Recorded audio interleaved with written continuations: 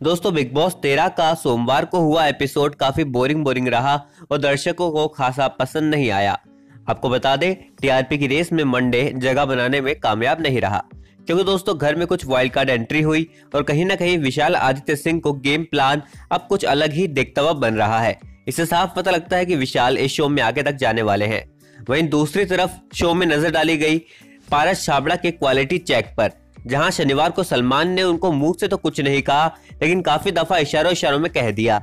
अब बाकी की क्वालिटी चेक कराने के लिए सलमान खान ने वाइल्ड कार्ड कंटेस्टेंट को ही लगता है चुना है, क्योंकि शेफाली बग्गा और अरान खान ने आते ही पारस छाबड़ा को क्वालिटी चेक कराई और उन्हें बहुत ही ज़्यादा गलत इंसान बताया।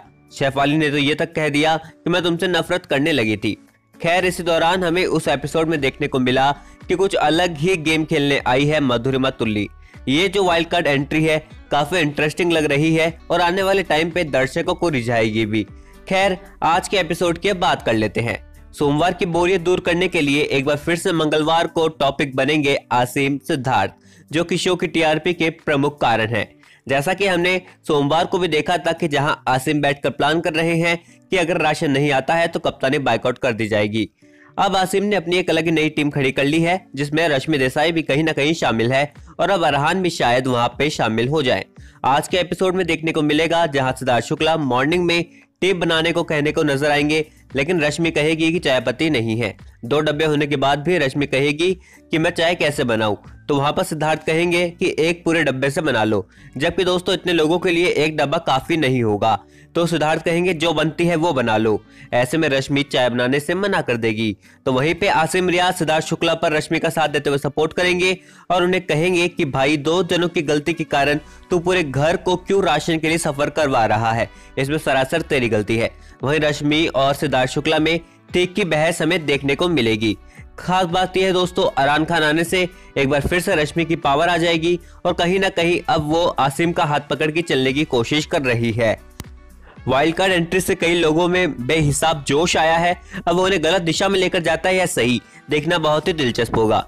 खैर, लड़की के तौर पे पारस छाबड़ा बनी हुई, यानी कि शेफाली बग्गा, जो लड़कियों की पारस छाबड़ा के नाम से काफ़ी ज़्यादा फ़ेमस है, जो कि अपने ही माइंड गेम खेलती हुई नज़र आती है। वहीं पारस छाबड़ा आज के जो एपिसोड में है थोड़ा सा वीक दिखाई देंगे। पारस छाबड़ा का गेम शायद पारस छाबड़ा ही जानते हैं। वो दिमाग तो खूब लगाते हैं तो कहीं ना कहीं वो गलत साबित हो ही जाते हैं। और बातें उन पर ही भारी पड़ जाती है। इसलिए आज होगा नॉमिनेशन टास्क जहाँ पर पूरी पावर दी जाएगी घर के सबसे समझदार कप्तान, यानी कि सिद्धार्थ शुक्ला को, जहाँ पर उनको पूरी इम्यूनिटी मिलेगी किसको सेव करना है, किसको नॉमिनेट जहाँ पर दोस्तों, यहाँ पर सिद्धार्थ शुक्ला को पावर मिलेगी कि दो सदस्य सामने खड़े होंगे, जिनमें से एक को सेव करे, एक को नॉमिनेट तो यहाँ पर बहुत ही ज़्यादा दिलचस्प उनकी कप्तानी होगी, जहाँ पर वो दोस्तों आरती सिंह को भी सेव करेंगे और पारस छाबड़ा को नॉमिनेट ऐसे में बहुत ही बड़ा झटका लगने वाला है।